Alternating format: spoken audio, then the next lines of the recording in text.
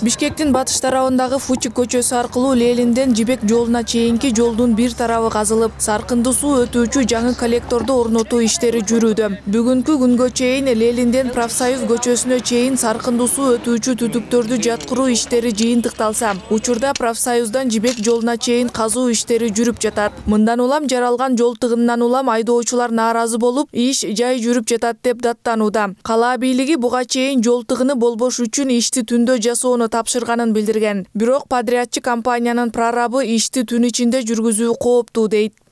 Түнкүсүн иштегенге биздин траншеябыздын глубинасы өтө терең. Төрт жарым беш метр бул баягы балдардын коопсуздугу үчүн эртеңки күнү уштап кулап калбаш үчүн. Экинчиден жердин астындагы коммуникация эски коммуникация баардыгы эски.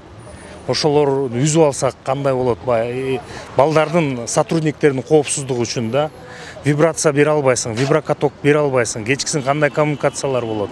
Ошонун негизинде мисалы бир сууну жарып алсаң аварийка келгечек траншеянын баары толуп калат. Аны соордуруп кайра куракташ үчүн дагы убактыбыз созулат. Түнкүсүн вибрация берсең жителдер нааразы болот.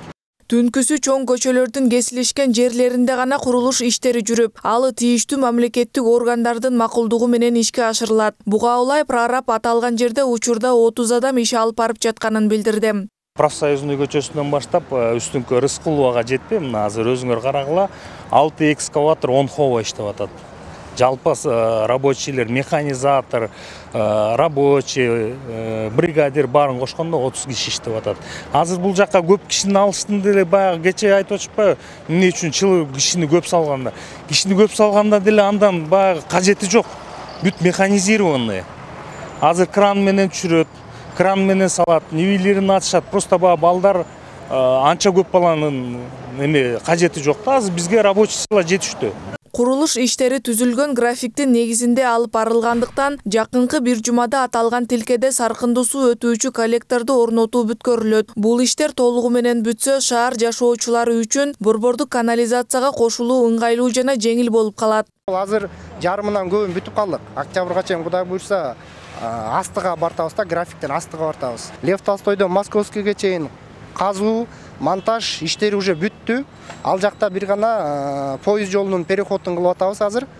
Поезд жолунун переходундагы биз поезд жолунун башкармалыгы менен графиктерди алып поездду токтотуп ошол моменттерде өтүп атабыз да. Ал жакта кээде техника туруп калып атат түзүлгөн план боюнча жаңы канализациянын коллектору пригородный айылынан тазалоочу курулмалардан баштап ахунбаев көчөсүнө чейин он бир километрди түзөт ал эми коллекторду куруу иши алты бөлүмгө алар кезеги менен тендерден уткан компаниялар аркылуу ишке ашырылат ушул күндөрү тиги профсоюзный ленскийден баштап суббота күнгө чейин кайнар деген компания асфальтированияны бүтүрүп беребиз деп атышат кудай буюрса мына азыр профсоюзныйдан жибек жолуга чейин турабыз биякта жумуштар бүтүп атат өзүңөр көргөндөй эле азыр биякта бир камерабыз калды эки трубабыз калды миңдиктен азыр кудай буюрса булар салынып бүткөндөн кийин бул эки күндүн ичинде бүтөбүз деп убада берип атышат эки күндүн ичинде бүтсө анан биз уже бияктын жолдорун ачып асфальтированиясын баарын кылып беребиз да